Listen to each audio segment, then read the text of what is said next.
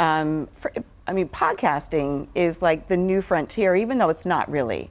It's been it's been big, you know, it, not on my radar big, but it's been big for Since 2010. Yeah, yeah, like really six years, right? Where it's been it's been a moneymaker for people. Yeah. The the woman who owns the podcast network that I'm on, you should have her on. Her name is Allison Marino. She's mm-hmm. amazing. It's all women podcasters.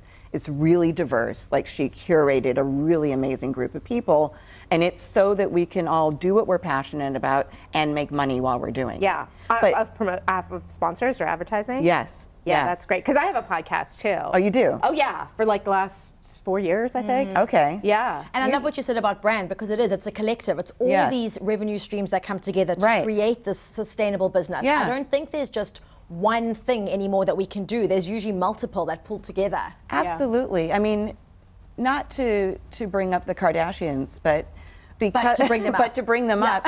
but they they do everything. You know, they're they were reality TV stars that really shouldn't have been. They kind of happened into that through Kim, and they are, you know, in every single industry that you can think of, that is part of their their brand.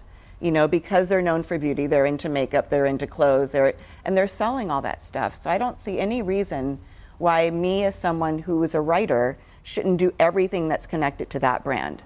Yeah. Which is storytelling, which is podcasting, you know, and I don't know what might be next for that. Yeah.